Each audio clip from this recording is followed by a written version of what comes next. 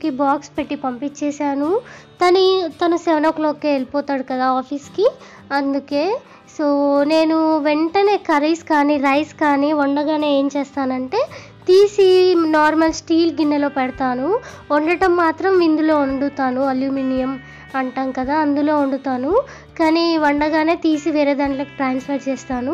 ఎందుకు అంటే అల్యూమినియం గిన్నెల్లో వండటం వల్ల కొంతమంది రాతిండి గిన్నెలు అంటారు కదా ఈ గిన్నెలో వండి అలానే ఉంచకూడదంట. సో అందుకే నేను తీసి వెంటనే స్టీల్ గిన్నెలో మళ్ళీ సర్వ్ చేసేస్తాను. సో ఈరోజు స్టవ్ ఏంటి అంటే తోమట్లేను. యాక్చువల్లీ నైటే నేను తోమేశాను స్టవ్. ఇప్పుడు జస్ట్ వండినప్పుడు కొంచెం ఆయిల్ మరకలు అవి ఇవి పడతాయి కదా జస్ట్ వాటర్ వేసి తుడిచేస్తున్నాను. సో నీట్గానే ఉంది స్టవ్. చూడండి. సో స్టవ్ నీట్గా అయిపోయింది. అండ్ నేను ఏంటి అని అంటే ఎప్పుడైనా కానీ పాలు ఎప్పుడు కూడా కిచెన్లో గిన్నెలు తోమేటప్పుడే పెడతానన్నమాట. ఎందుకంటే నేను పాలు ఒకసారి స్టవ్ మీద పెట్టానంటే మ్యాక్సిమం పాలు మర్చిపోతాను నేను. సో అందుకే ఎప్పుడైనా కానీ కిచెన్లో ఉన్నప్పుడే నేను పాలు స్టవ్ మీద పెట్టేస్తాను. గిన్నెలు తోముతూ పాలు అనేది వేడి చేస్తాను. పక్కన స్టవ్ మీద పెట్టేసి గిన్నెలు తోమేలోపు పాలు వేడైపోతాయి ఆఫ్ చేసేసి వెళ్ళిపోతాను. లేకపోతే ఓన్లీ పాలు స్టవ్ మీద పెట్టి వెళ్ళానంటే మాత్రం అవి పొంగిపోవడము మాడిపోవటము లేదా అసలు పాలు లేకుండా గిన్నె మొత్తం బొగ్గులాగా అయిపోతుంది అన్నమాట అందుకే ఎప్పుడు కూడా గిన్నెలు తోమే టైంలో పెట్టేస్తాను సో అక్కడ పాలు పెట్టేశాను ఇక్కడ గిన్నెలు తోమేస్తున్నాను. ఇవి ఓన్లీ జస్ట్ మార్నింగ్ గిన్నెలే అండి. నైట్వి నైట్వే తోమేస్తాను. సో మార్నింగ్ నిఖిల్కి టూ టైమ్స్ చాయ్ పెట్టాలి. ఆఫీస్కి వెళ్ళే వరకే ఫైవ్ థర్టీకి లేస్తాం కదా లేవగానే ఒకసారి ఆఫీస్కి రెడీ అయ్యాక ఒకసారి టీ పెట్టాలి. సో అలాగే తనకి బాక్స్ పెట్టిన అండ్ కుకింగ్ చేసిన గిన్నెలు అవన్నీ కూడా ఇప్పుడే తోమేసేస్తాను.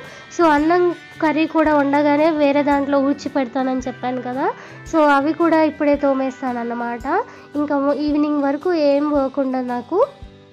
సో గిన్నెలు తోమడం అయిపోయింది. ఆల్మోస్ట్ సో ఇప్పుడు చూడండి పక్కన టైల్స్ క్లీన్ చేస్తున్నాను. సో ఎవ్రీడే నేను ఇలానే టైల్స్ క్లీన్ చేస్తూ ఉంటాను. ఎందుకు అని అంటే సో గిన్నెలు తోమినప్పుడు వీటి మీద మరకలు అనేవి పడుతూ ఉంటాయి. సో అవి వైట్గా అయిపోయి అంటే అంత బాగా కనిపించదు. సో ఇలా ఎవ్రీడే తోమితే చాలా నీట్గా ఉంటుంది. కిచెన్ అనేది చాలా బాగా కనిపిస్తూ ఉంటుంది. సో అన్నీ తోమేశాను. ఇప్పుడు అన్నీ సెట్ చేసేస్తాను. పాలు కూడా ఆల్మోస్ట్ వేడైపోయాయి. సో ఇంకా ఆఫ్ చేయాలి. సో ఇవి వచ్చేసి తమ్లర్స్ నిఖిల్ కోసం అన్నమాట.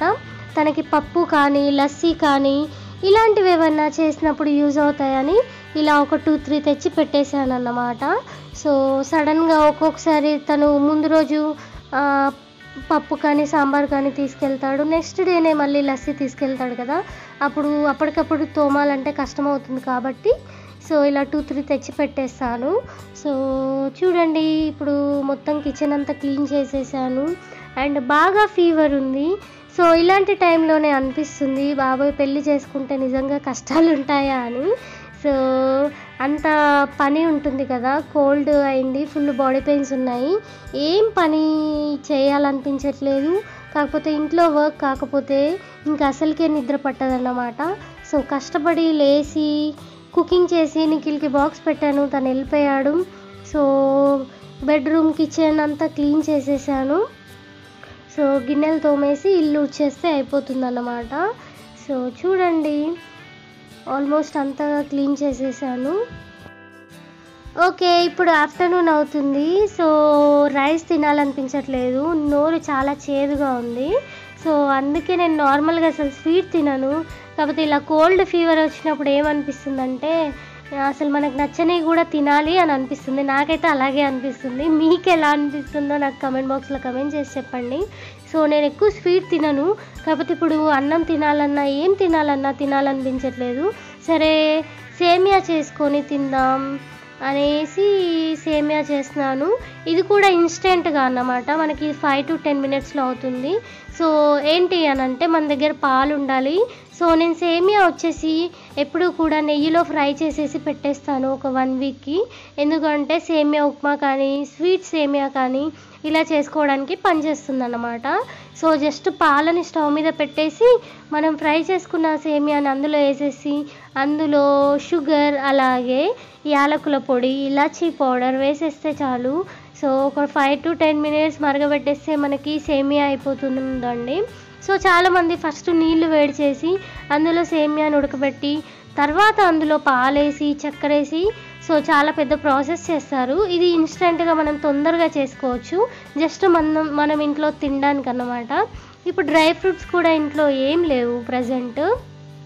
సో నేను డ్రై ఫ్రూట్స్కి బదులుగా ఇందులో పల్లీలు ఉంటాయి కదా వేరుశనగలు. వేరుశనగలు లైట్గా ఫ్రై చేసి చిన్న చిన్న ముక్కల కింద కొట్టి ఇందులో వేసాను. సో ఇది కొద్దిగా ఉడికాయి అనుకోండి మనకి బాదం లాగా అలానే ఉంటుంది టేస్ట్ అనేది. సో చాలా బాగుంటుంది. సో మీరు కూడా ట్రై చేయండి. సో నేను ఇప్పుడు మా పక్కన పాపకి ఐ లైనర్ పెడుతున్నాను. సో ఫస్ట్ టైం ట్రై చేస్తున్నాను ఎలా వస్తుంది అని. నార్మల్గా చిన్నగా లైట్గా ఐలైనర్ పెట్టడం నాకు వస్తుందండి. కాకపోతే ఈ ఇది వచ్చేసి వింగ్డ్ ఐలైనర్ అంటారు కదా ఇలా వింగ్స్ లాగా రెక్కల్లాగా రావడానికి వింగ్డ్ ఐలైనర్.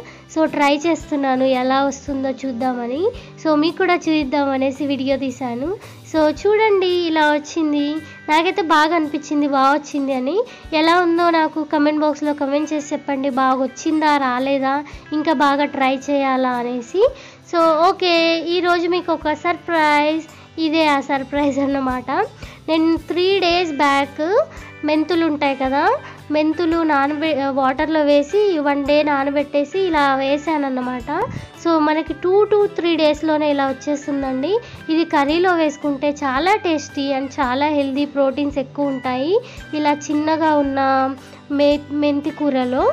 సో ఇదేంటి అనుకుంటున్నారు కదా? ఇది కంపోస్ట్ కోసం తయారు చేశాను. ఇలా ఒక బాటిల్ తీసుకొని కట్ చేసి ఇలా పెట్టేసి మిగిలిన కిచెన్లో మిగిలిన చెత్త మొత్తం ఇందులో వేసేసి వాటర్ ఇందులో నుంచి పోసారనుకోండి ఇది కంపోస్ట్లో ఈ ఇందులో ఉన్న చెత్తలో ఉన్న వాటర్ అనేది మొత్తం మనకి చెట్లోకి వెళ్తుంది. అప్పుడు చెట్లు అనేవి మనకి బాగా గుబూరుగా బాగా వస్తాయన్నమాట. సో మీరు కావాలి అని అనుకుంటే కంపోస్ట్ తయారు చేసుకోలేము అనుకుంటే ఇలా సింపుల్గా చేసుకోవచ్చు. సో ఇవన్నిటి కూడా నేను ఇలాగే చేశానన్నమాట. సో చూడండి ఎలా ఉందో నాకు కమెంట్ బాక్స్లో కమెంట్ చేసి చెప్పండి. ఇలా మేతి కూర ఇంట్లోనే సింపుల్గా చేసుకోండి. అండ్ నేను చాలా డేస్ అవుతుంది కోల్డ్ ఫీవర్ అయిందని ఎలాంటి ఫేస్ ప్యాక్స్ కూడా అండ్ హెయిర్ ప్యాక్స్ కూడా ఏం వేసుకోలేదన్నమాట. ఫేస్ ప్యాక్స్ హెయిర్ ప్యాక్స్ అంటే కెమికల్ రిలేటెడ్వి కాదండి. ఇంట్లో న్యాచురల్గా ఇంట్లో ఉన్న ప్రోడక్ట్స్తోనే కిచెన్ వాటితోనే తయారు చేసుకునేవన్నమాట. ఇప్పుడు దీనికోసం నేను బనానా తీసుకున్నాను. బనానాని బాగా మ్యాష్ చేశాను మెత్తగా అయ్యేలాగా. ఇప్పుడు ఇందులో యాడ్ చేస్తున్నాను హనీ అన్నమాట. సో ఒకవేళ మీది డ్రై స్కిన్ అనుకోండి హనీ ఎక్కువ యాడ్ చేయకండి. నా డ్రై స్కిన్ అందుకే హనీ కొద్దిగా యాడ్ చేస్తున్నాను. మీది ఆయిలీ స్కిన్ అయితే హనీ ఎక్కువ యాడ్ చేసుకోవచ్చు. సో హనీ వల్ల స్కిన్ అనేది చాలా గ్లోయింగ్ వస్తుంది. అండ్ స్కిన్ కూడా చాలా షైనీగా కూడా అవుతుందన్నమాట. ఇప్పుడు ఇందులో కొద్దిగా పసుపు యాడ్ చేస్తున్నాను. ఇది ఏంటి అని అంటే మీకు పసుపు కొమ్ములు తీసుకొని పట్టించిన పసుపు అయితేనే యాడ్ చేయండి.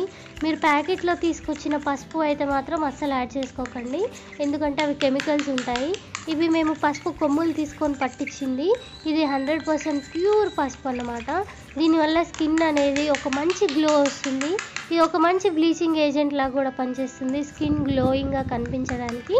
సో చూడండి ఇలా పేస్ట్ అవుతుంది కదా.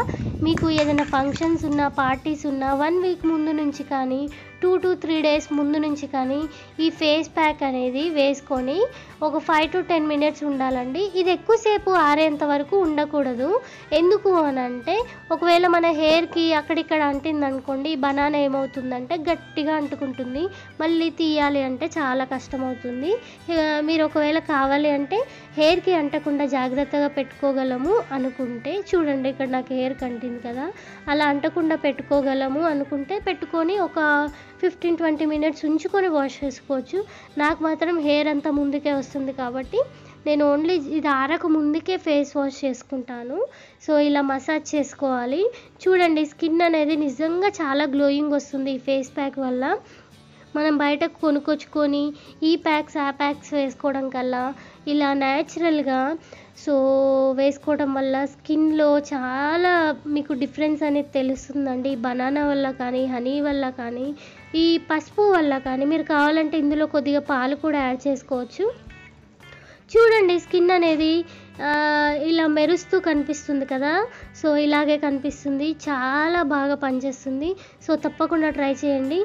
నేను నార్మల్గా ఫేస్ మసాజ్ టిప్స్ ఉంటాయి కదా ట్రిక్స్. సో అవన్నీ యూస్ చేస్తూ చేస్తూ ఉన్నాను. నేను ఏ ఫేస్ ప్యాక్ వేసుకున్నా ఇలా చేస్తూ ఉంటాను. ఇంకా బాగా పనిచేస్తుంది అప్పుడు మన స్కిన్ మీద. సో మీరు నార్మల్గా కూడా అప్లై చేసుకొని వాష్ చేసుకోవచ్చు. నేను ఇలా మసాజ్ చేసుకొని ఫైవ్ మినిట్స్లో వాష్ చేసేసుకుంటాను. స్కిన్ చూడండి చాలా డిఫరెన్స్ కనిపిస్తుంది. ఇంకా మీరు వాష్ చేసుకున్నాక చూడండి చాలా అంటే చాలా తేడా కనిపిస్తుంది. సో తప్పకుండా ట్రై చేయండి. మీకు మ్యారేజ్ ఉన్నా కానీ ఫంక్షన్స్ ఉన్నా కానీ పార్టీస్ ఉన్నా కానీ ఒక త్రీ డేస్ ముందు వన్ వీక్ నుంచి డైలీ ఒక ఫైవ్ మినిట్స్ ఇదే ఫేస్ ప్యాక్ అప్లై చేసుకోండి. చాలా తేడా కనిపిస్తుంది. ఇది మీకు చాలా బాగా పనిచేస్తుంది. సో నేను ఇప్పుడు ఇది ఫేస్ వాష్ చేసుకొని చూపిస్తాను. ఎలా ఉంది నా స్కిన్ అనేది. సో చూడండి ఇప్పుడు ఫేస్ వాష్ చేసేసుకున్నాను. స్కిన్ అనేది చీక్స్ మీద కానీ మనకి నోస్ మీద కానీ షైనీ షైనీగా అవుతుంది. సో నిజంగా చాలా బాగా పనిచేస్తుంది. సో తప్పకుండా ట్రై చేయండి. ఈ వ్లాగ్ మీకు నచ్చింది అనుకుంటున్నాను. మీకు ఏమైనా డౌట్స్ ఉన్నా కానీ ఏమైనా స్పెషల్ వీడియో కావాలన్నా కానీ కమెంట్ బాక్స్లో కమెంట్ చేయండి. తప్పకుండా మీకోసం చేస్తాను. ఇంకొక మంచి వీడియో వరకు tata bye bye love you all.